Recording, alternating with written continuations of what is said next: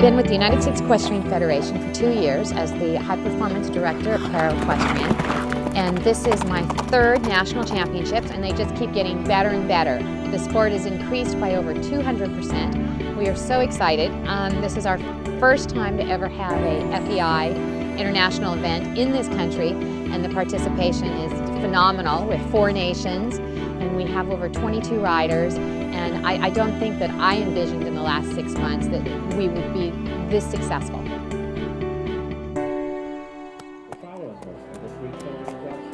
I think it's probably not only the level of riding, but the level of coaching and the patience and the, and the dedication to, to, to correct work.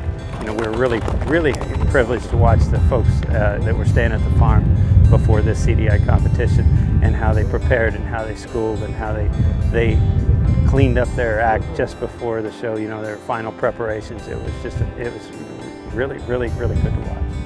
I've been riding dressage since I was six.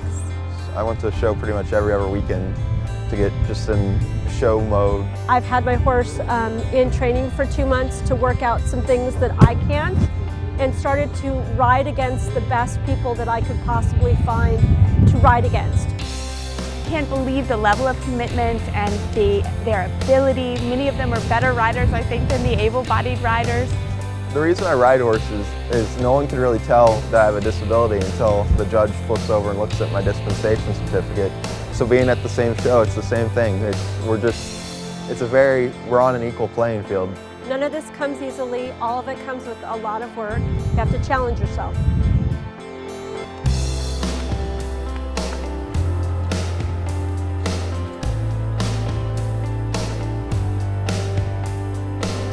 Competing at this level can get extremely expensive. Um, so just constantly trying to find fund fundraisers and sponsors and um, just also just public awareness. Um, it's not really quite well known in the United States yet. Traveling across the country is expensive, so getting people aware that para-equestrian is out there and it's a growing, really good sport to get into. And we have a lot of very talented riders that I think we just haven't found yet. We got to get more people involved be it dressage, event, show jumping, reining, whatever you do, do it to a standard of excellence and promote para-equestrian as equal to excellence. There needs to be an education process to recognize that we are serious and that we're not just a charity. It's not just like we're going to get to go to the World Equestrian Games and feel good about ourselves. You know, we're trying to win medals. There are some of the bravest, most graceful people I've ever met in this program.